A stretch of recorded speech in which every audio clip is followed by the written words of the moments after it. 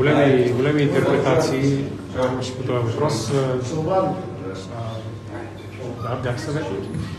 Официално, международен формат, по линия на НАТО и по линия на други международни организации, защото така ние често се подценяваме, но нашия опит от около прага на новия век, когато бях директор на планиране на отбраната като цивилен, се считаше за много ценен и евентуално полезен на Украина. И аз работих с съответната дирекция с цивилен ръководител в Министерството на отбраната, посещавайки Украина през месец, през два или през три, в зависимост от, от, от, от тяхната готовност да приемат съвети и ни плащаха съответните международни организации. Те покриеха разходите по тези пътувания.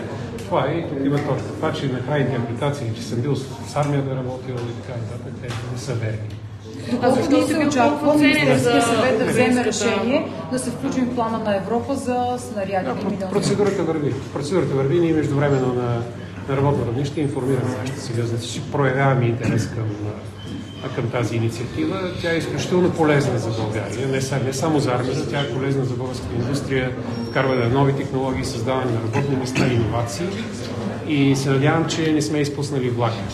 Защото, за, защото забавяния от порядъка на 3 месеца към днешния ден са значителни забавяния. Има ли индикация страна на Европа, че не сме опуснали да говорим в цифри. Все пак ориентировачно. Не, ние говорим само единствено от, от гледна точка на подпомагане на използването на финансови, европейски финансови механизми, за да може да, да, инвести, да се инвестира в нашата отбранителна индустрия. За това говори в момента. А, едната интерпретация също не беше особено коректна в заключителните думи на депутатите. Това не е съвсем безплатно. Аз го споменах в моето изявление. В всички тези формати България участва пропорционално на своя брутен национален доход е, е термина, който се използва там и участваме с малко, по-малко от 0,5% малко по-малко от половин процент, но шансовете ни да получим финансиране са за многократно по-голямо финансиране. Това е въпрос. Многократно, не мога да ви кажа, защото това е въпрос на... Възможно е над 10 пъти да говорим тук, определено. Определено говорим за... Тъй като, а, вижте, България е в една такава позиция, още в Варшавския договор ние специализираме в производството на малки леки въоръжения и боеприпаси. И, и България е от най-големите, нищо, че не сме от големите страни, България е от най-големите производители на такива боеприпаси. Въпросът сега е да минем към а, тези нови натовски стандарти, към които ще мине и нашата армия а, и да се позиционираме отново като производител и за нуждите на българската армия, така и а, в, в европейски мащаб като минимум, за да може да, да снабдяваме и други армии с такива боеприпаси. Win-win ситуация от всякъде. Господин Тагарев, БСП казва, че са ви спряли за министър в предишното правителство, защото ще ни въвлечете Еми да го чухме, го, чухме го публично Ама сега ще участваме беше... ли в война? Това е, това е Участваме в война. Това е нали, поредната спекулация и манипулация на общественото мнение. Сега аз бях абсолютно, абсолютно ясен. Нали, има над 60 страни са в формата Рамштайн. Никой от тях не участва в войната. Има едни особености в Европейския съюз, когато създават тези фондове. Четох документи с нощи и тази сутрин.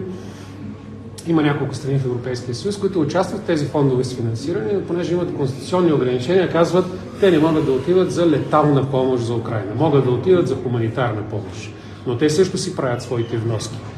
А, огромната част от европейските страни разбират прекрасно, и не само от европейските, че сигурността на Украина, възстановяването на независимостта, териториална цялост на Украина и ограничаването на капацитета на Русия за бъдещи агресивни действия. Това е пътя за да си гарантираме стабилност и сигурност в прогнозируемо бъдеще. А те 72 ще изпращаме към Украина? Няма до момента дискусия, но а, няма до момента дискусия за Т-72. В никакъв случай, както тук изразиха притеснение някои от депутатите, не става въпрос за някои от те...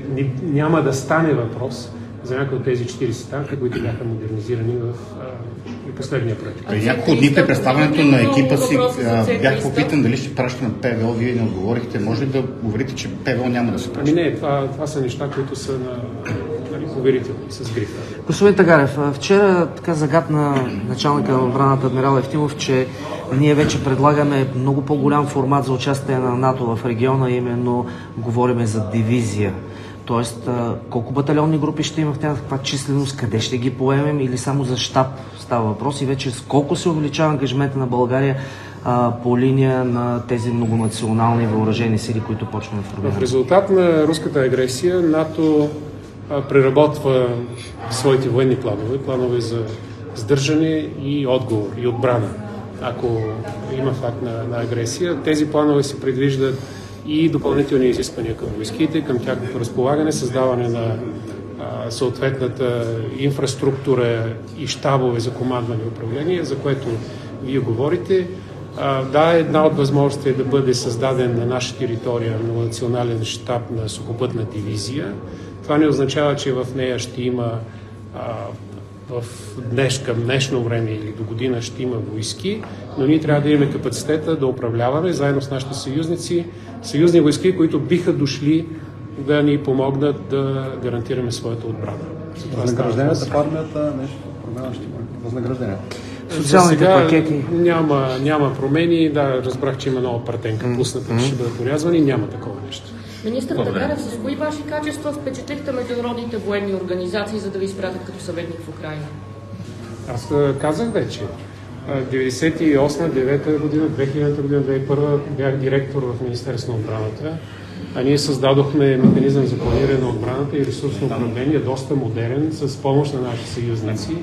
А това беше доста високо оценено и съответно получих покана да споделя този свой опит с, а, след Оранжевата революция, когато Украина заяви, че също иска да върви по подобен път. Аз там работих с новоназначен, цивилен, с директор на отбраната, с цивилен екип, именно как а, би трябвало да се прави на теория и каква е ролята на цивилните в Министерство на отбраната в процеса на планиране и ресурсно управление.